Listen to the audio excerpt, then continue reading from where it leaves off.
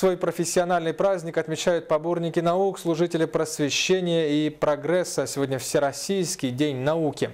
В эти дни ученые Якутии подводят промежуточные итоги второй комплексной экспедиции в республике, рассказывает Иван Подойницын. Канун Всероссийского дня науки кураторы второй комплексной экспедиции рассказали о своих промежуточных результатах.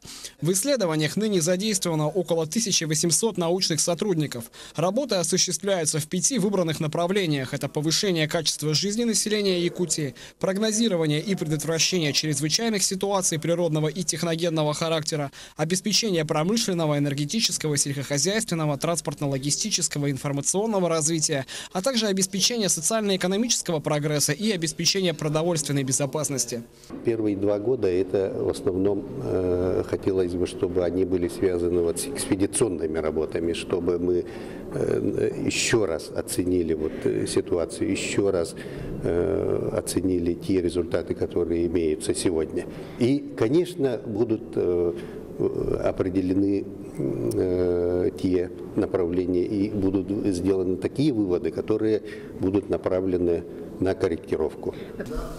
В скором времени, по словам ученых-кураторов, следующий этап – это концентрация и консолидация полученных результатов. Затем уже по определенным тематикам будут проводиться конкретные исследования совместно с ведущими научными школами Российской Академии Наук.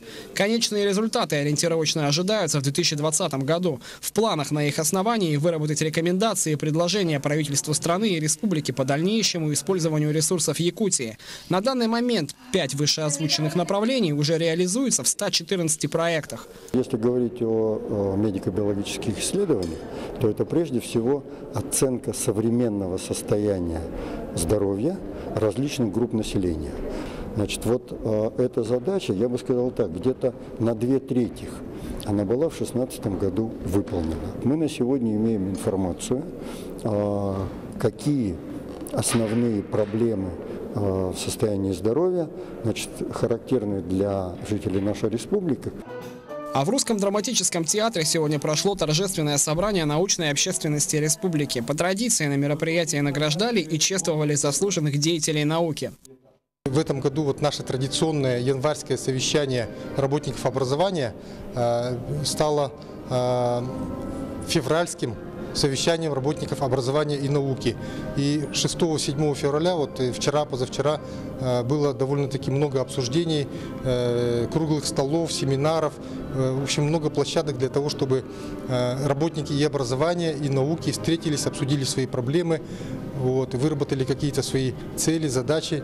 Иван Подойницын, Владимир Павлов, Владимир Таюрский, НВК «Саха», Якутск.